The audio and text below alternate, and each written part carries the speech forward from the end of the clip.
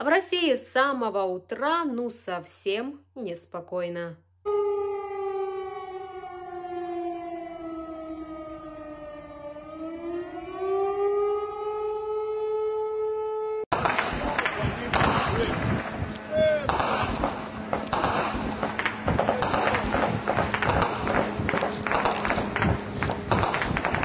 В ночь с понедельника на вторник, 12 марта, представители Легиона Свобода России, Русского добровольческого корпуса и Сибирского батальона, являющимися гражданами России, но воюющими против режима Путина, зашли на территорию Курской и Белгородской областей.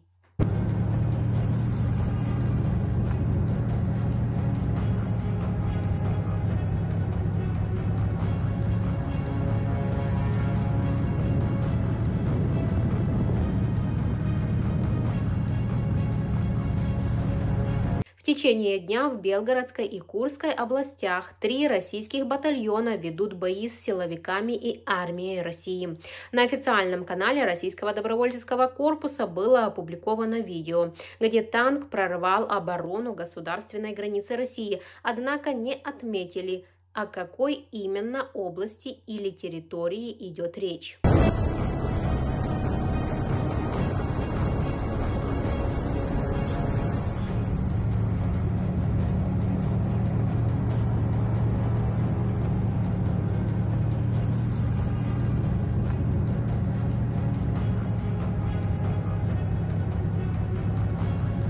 Также один из легионов заявил, что село Теткино Курской области полностью под контролем так называемых российских освободительных сил.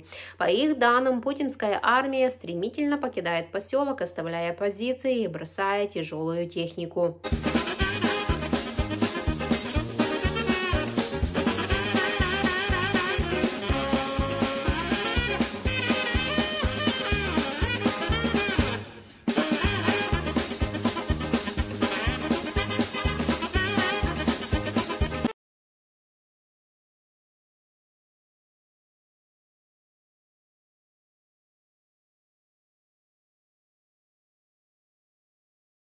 Но некоторые же российские военные жалуются, что их бросили. Вот, например, несколько военных из Белгорода обратились к кадыровцам, ведь те, услышав первые взрывы, сбежали куда подальше. Так что брошенная и опущенная по духу российская армия послала куда подальше Кадырова и его ставленников. Мы бойцы русской армии. Хотим обратиться к чеченцам, а в частности это касается Рамзана Кадырова и ставленника его в Белгородской области Рустама Агуева. Слушайте, вы как будто потерялись в России. Вот вы такие гордые чеченцы, хуё-моё. А как пришло время работы, так слились. Полгода простояли тут в школе. Вас местные называют чеченские свиньи, потому что живете как в хлеву. Настоящие животные. Кадыров, если не отвечаешь за свой базар, забирай свои свиней и уеби. От- Вы хуже, чем бабы, от баб проку больше, бля. И да, Агуев, увижу тебя, завалю, пидораса, клянусь. Спасибо за внимание. Такова она дружба с ТикТок батальоном. А вы что думали?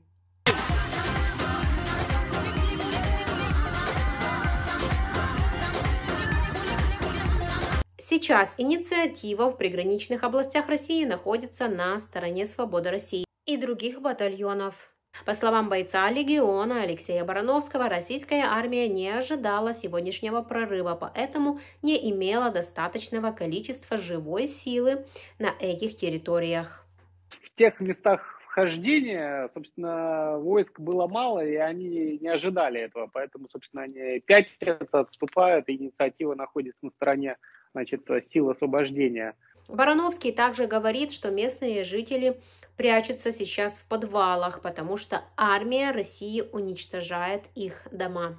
А Что касается местных жителей, ну, они поступают наиболее разумным образом, они просто прячутся в подвалы, и это то, к чему мы их призываем, потому что мы не хотим, чтобы мирные граждане страдали, это путинская армия постоянно наносит удары на территорию Украины по значит, жилым массивам. То же самое мы сейчас видим и на территории Курской области, потому что они вот думают, чтобы где-то там начинают туда насыпать из минометов, там из артиллерии. Нас уже там нету, ну, уничтожили какие-то жилые дома, кто их там считает.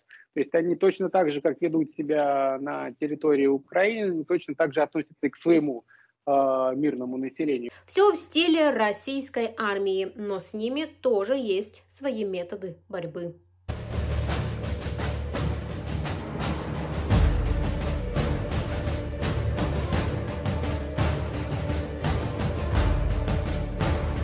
Кстати, некоторые телеграм-каналы пишут, что в Белгороде уже идет эвакуация. Ну а власти Курской области запретили распространять фото или видео с мест обстрелов и прилетов, а также передвижения военных. А еще появилась информация, что в Курске намечается референдум по выходу из состава России. В Теткино появились бюллетени с вопросом о выходе из состава России и образовании Курской автономной республики. Интересно, что будет дальше? Ведь пока что ни Путин, ни кто-то с представителей власти не делал каких-то заявлений. Ждем, а вы оставайтесь с нами, чтобы быть в курсе самых свежих новостей.